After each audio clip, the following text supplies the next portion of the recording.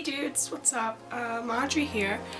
Um, I know it's been a long time since I've done anything in these videos and I apologize for that.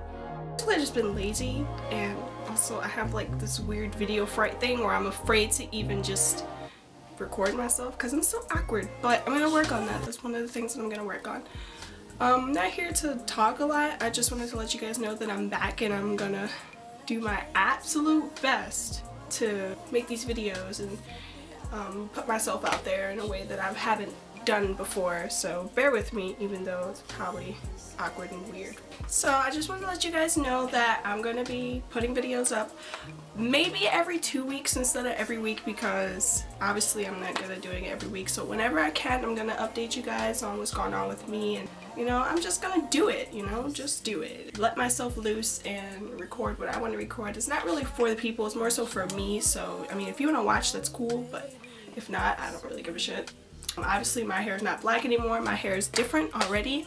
I'm gonna post a video that I recorded a couple months back of like my hair routine and I'm gonna make a new one and show you, it's still the same pretty much, but I wanted you guys to see, you know, how my hair texture has changed already within these months, which is fucking fabulous. I'm gonna show you how to get your hair back to health and shit like that.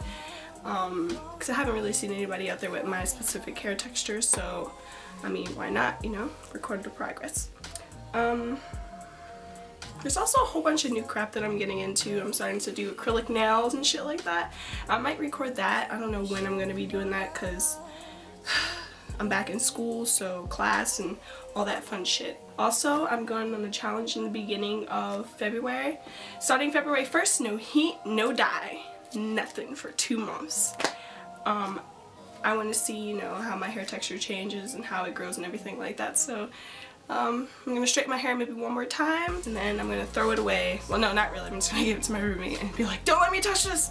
Yeah, that's about it. So, you know, keep watching me on this shameless journey and first step to being shameless is record your damn videos and put them up. Because obviously I'm not good at that. So, first things first, get rid of this video fright.